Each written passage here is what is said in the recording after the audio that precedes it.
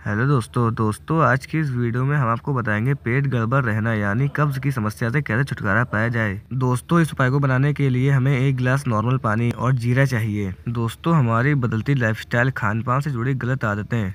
दिन भर एक जगह बैठे रहना एक्सरसाइज ना करना ये, ये सारी चीज़ें हमारी सेहत पर बुरा असर डाल रही हैं। और इसका सबसे ज़्यादा असर हमारे पेट और पाचन पर देखने को मिलता है। सुबह सुबह अगर पेट साफ़ नहीं होता तो दिन भर पेट में दर्द, पेट फूलना और गैस जैसी दिक्कतें महसूस होती हैं। दोस्तों, इस उपाय की मदद से आपका पेट साफ़ होना शुरू हो जाएगा। दोस्तों, इस उपाय को बनाना शुरू करते हैं। दोस्तों, इस उपाय को बनाने के लिए एक गिलास पानी लें। उसमें एक चम्मच के करीब जीरा डालकर अच्छी तरह उबाल लें।